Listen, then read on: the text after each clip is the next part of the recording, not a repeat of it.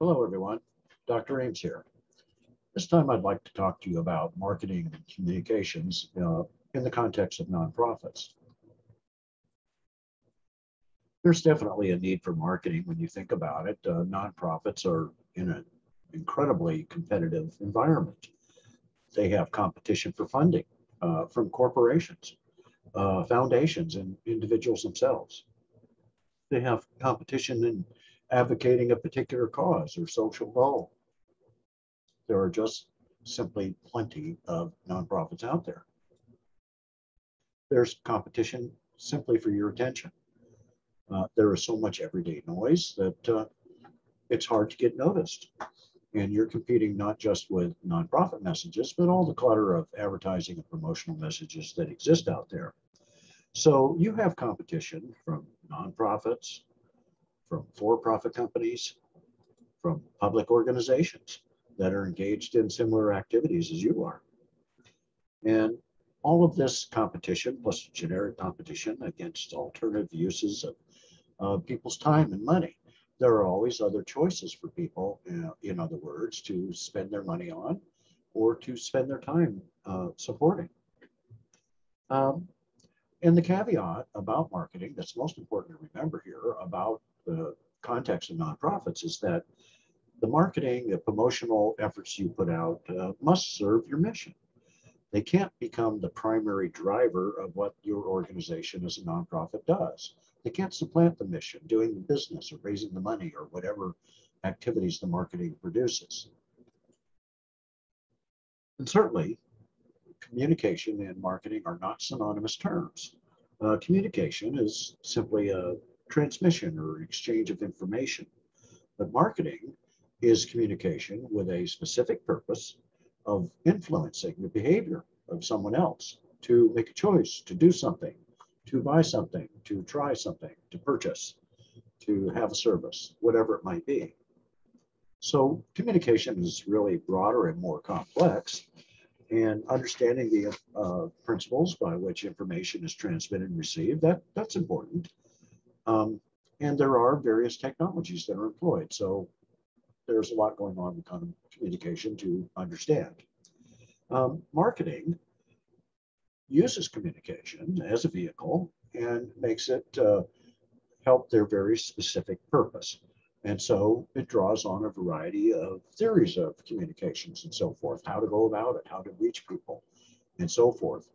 And certainly a lot of this is driven simply by the sheer amount of competition and the sheer number of messages that are out there competing for attention. Well, we can have different mindsets.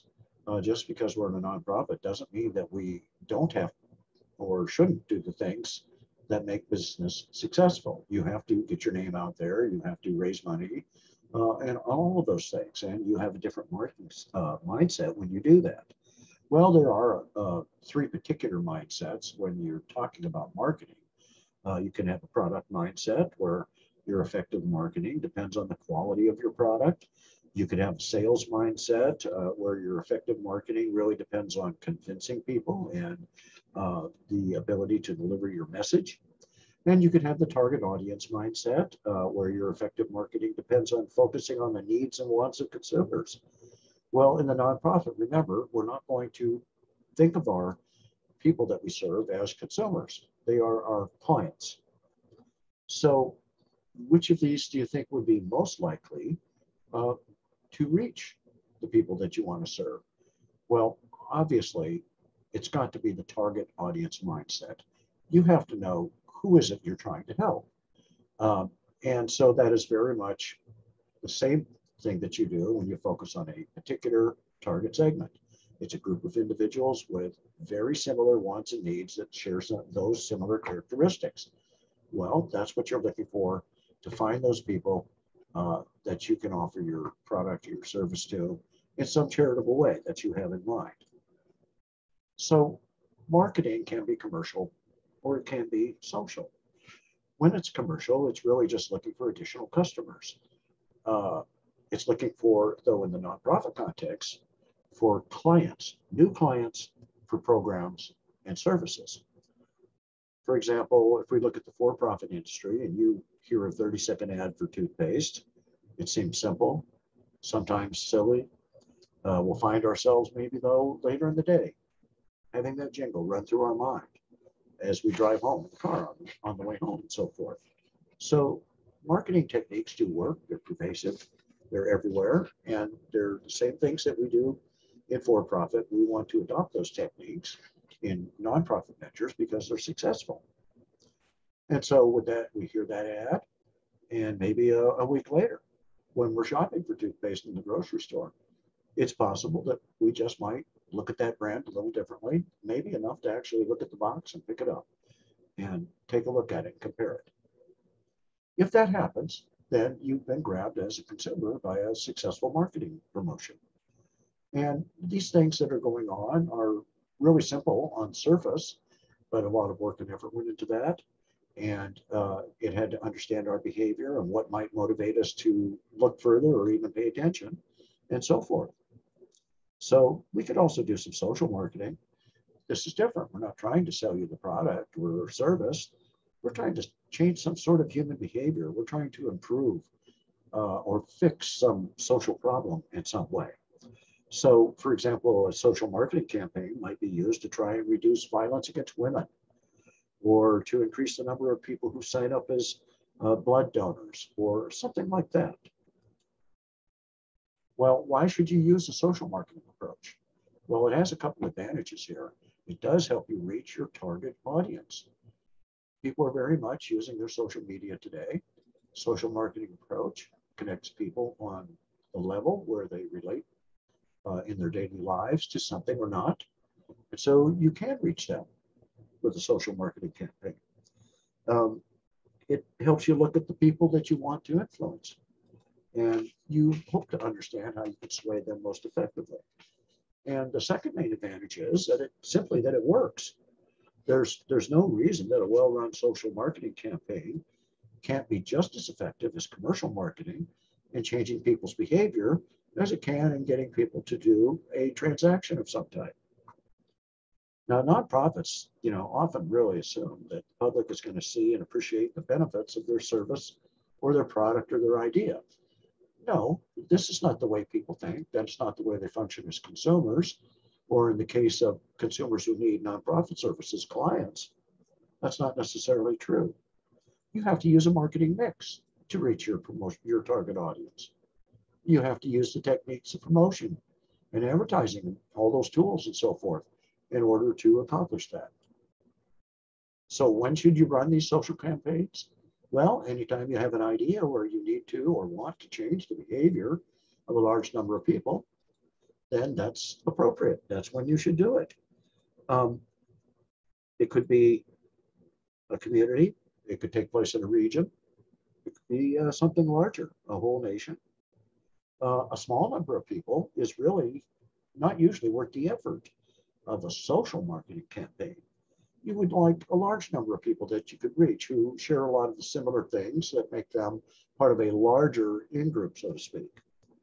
But if you have smaller people, you could always go and uh, numbers of people, you could speak to them individually, you could speak to them as a group, but you may not need a social marketing campaign. Now, when you're trying to change behavior over a long period of time, uh, social marketing plans really do tend to be long-term projects. It takes time to get people to understand your idea of a cause, how serious it is, why they should part with their money and, and for and in fact support you in whatever that endeavor is. So when you're trying to change people's behavior permanently, um, you should look over for the long-term focus um, and measure your efforts as you go and see how you're doing. But it does take a long time, and these are not going to be something you're going to do for a little while and you've solved society's problem. Society's problems take a long time to develop, uh, generally, and they take a while to work out. Generally speaking, uh, if you're asking people to, you know, perform a particular action one time, efforts to convince them to do it more than once uh, would certainly use a social marketing campaign uh, that wouldn't be appropriate because that's more for an idea or a cause. Um, if you were asking, say, people at the office to give blood one time, well, social marketing campaign wouldn't be appropriate there. You could just talk to them as a group or send a mass announcement of some type. However, from a different perspective, a concerted effort, say, by a blood bank to try and increase the number of people who donate blood regularly might use an office blood drive as part of an overall larger promotional campaign. And that's what we should do. Uh, and then marketing and promotion allow us to think in these terms in different ways. Um, and so when you have resources uh, that are necessary to manage a comprehensive effort, yes, that's the time to do it. If you don't have the resources, then you really have to seriously consider if you really want to pursue the idea. Or uh, take a look at how difficult would it be to get the resources necessary and is it worth the time and energy for the end result so you want to do things that you have some leverage with that you have some assets or skill or knowledge or something like that so you can move forward so the social marketing campaign while very effective in the right context it, it should only be undertaken when you're ready to use the time and the resources to really make that thing work and to drive it. So how do you manage it? Well, it's like any project that you would do, whether you're in the for-profit industry or sector, I should say, or uh, in the nonprofit, you've got to understand what you're trying to accomplish. So you have to define it and you have to understand it. What is the problem you're trying to solve? What is the charity you're trying to do? Why are you doing it? Why is the purpose that it is so important? because you need to understand it and be able to define it for yourself and articulate it to others in order to get support you need to move ahead with your idea. So you want to start by probably taking a more broad and general definition of what the problem is that you're thinking about working on uh, and attacking in some way with a nonprofit venture. So what are those goals? What are you trying to really accomplish? And be reasonable. And don't set your end goal immediately. I mean, you may have an end goal and you can set it, but not when you're going to get there necessarily how you're going to get there right away. So be reasonable and set increments.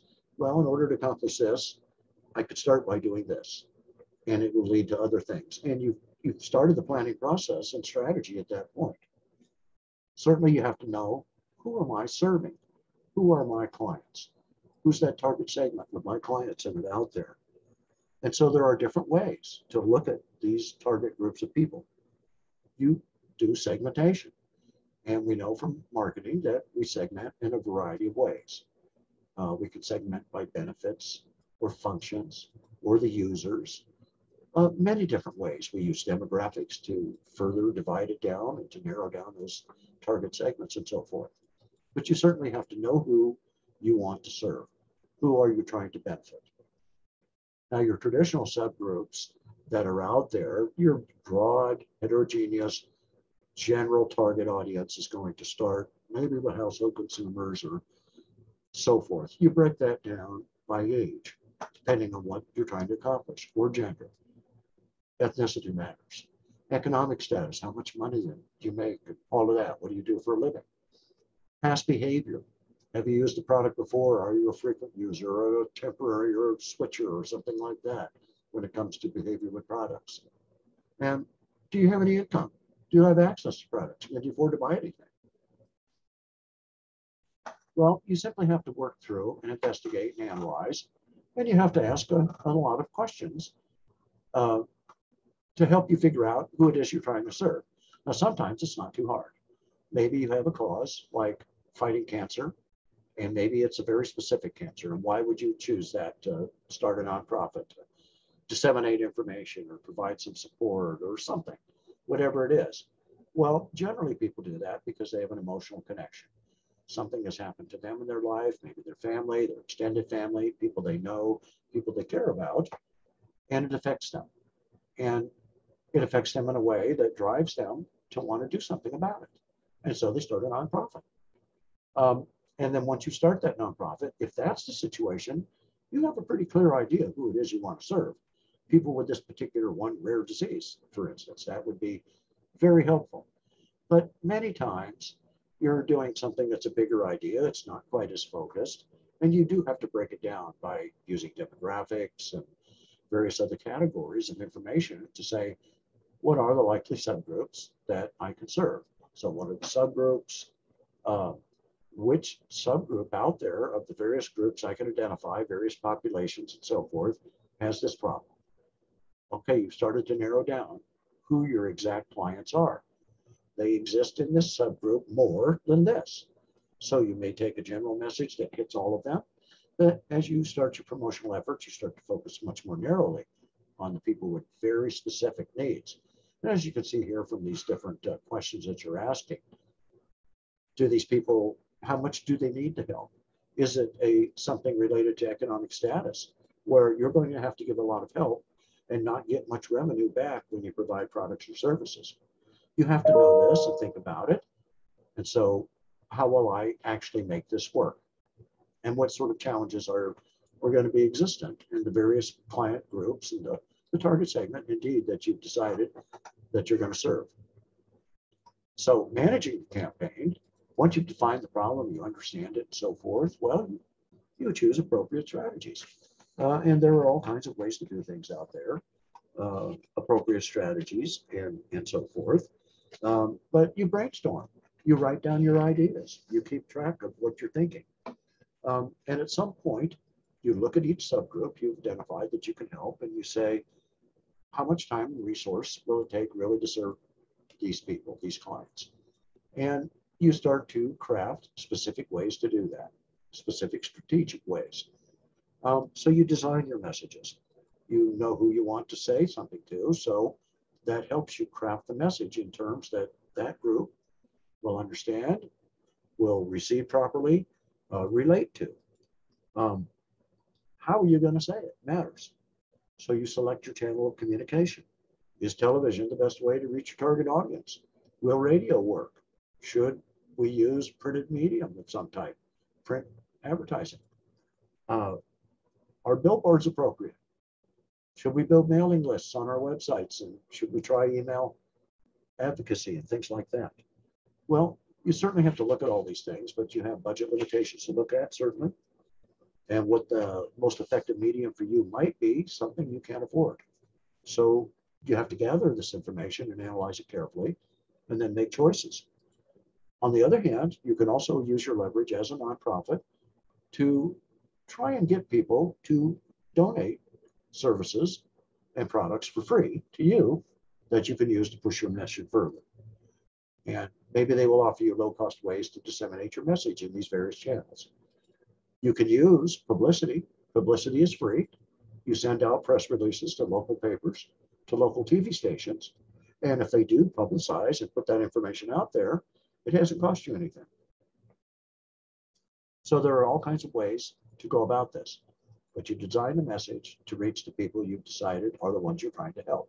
You've selected the communication channel, and then you can pre-test it, depending on how big this promotional thing might be. Um, talk to people, run a focus group if you have time and uh, access to enough people and so forth.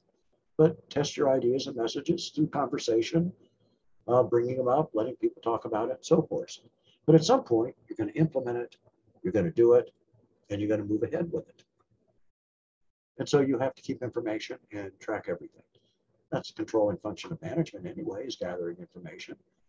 So you determine what information is important to gather as we go. And you want to hopefully find some way to measure the results of your promotional efforts. Well, certainly it's pretty hard to measure how well a billboard is doing and whether or not that brought anybody in. On the other hand, it's very easy to measure how many clicks you've got on your website, how many people have ordered something, how many people have donated. You can measure that over time and make graphs and charts, and compare, are we doing better or worse, and things like that.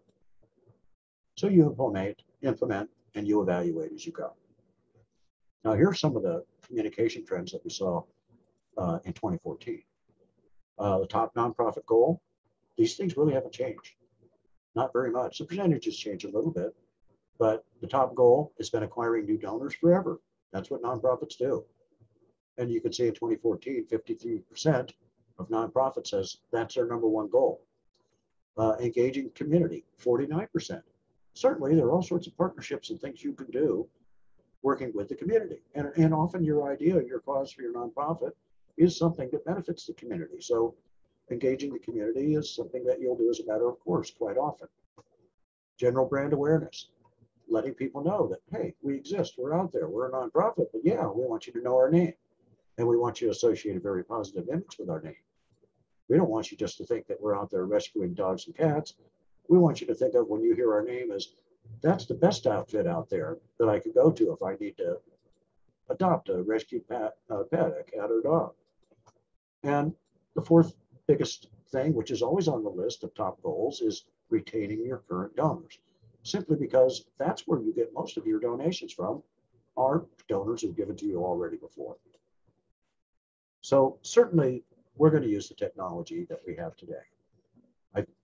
Mentioned that we need two websites. We need a corporate website for the company, and we need a social website to bring people in in a more conversational and social tone. Um, so these can be static or interactive. I recommend be interactive, that you use regular pull strategies that are at the heart of promotional strategies today. Pull strategies are designed to get people to call a number, to visit your website, to click on a link, to call you up and ask for a free brochure or a DVD, whatever it might be. You want to be as interactive as possible. You want to pull people in. So you need to have that social network uh, presence. Facebook at a minimum, probably, even though Facebook does have its problems. Uh, LinkedIn, Instagram, have a Twitter presence. You want to be in these different social medias. So you've got your websites, your presence on the various medias. In 2015, here's some information from that year. Typical nonprofit communications again. One year later, what are we saying? Number one goal, it's gone up 4%. In fact, it's changed. It's engaging our community, which was at 49%. It's now at 57 on this survey. They probably had a different group of people that they surveyed and so forth. We still see the top goals uh, retaining current donors, general brand awareness, and thought leadership. What we're not seeing here is getting new donors, which is quite surprising because generally that is the top thing in every list you see. Um, what do communications stress? Where are their efforts? So this is kind of interesting. At the same time, all these things are related to getting new donors as well, because every time you get money. Well, in fact, it does say acquiring new donors, and it's it's just slightly less than the year before. So, where are the communicator channels, communication channels? Well, just what I've been saying. Your website, 93%. That's your regular, what you would consider like your business website, the corporate website. But your social media website, whether you've got one on Facebook or whether you've got a presence on uh, Instagram or you've got something on Facebook, 85%. And then email marketing is still big uh, as of 2015. These numbers are dropping somewhat because of the cybersecurity, but amongst safe senders, email still is effective. And then here, you hold revenue events. You have relationships that you build with media companies using public relations. This is publicity, again, like I was saying, offering press releases and things like that. And then print marketing is still very much used because when you're looking on your social media site, you are seeing a print ad. So print advertising has not gone away. It's just changed channels. It's not so much in magazines, which have less circulation than they did 10 years ago. It's all print ads moved online. So really, you're doing basic marketing. You have a marketing mix. And that's what we teach in principles of marketing.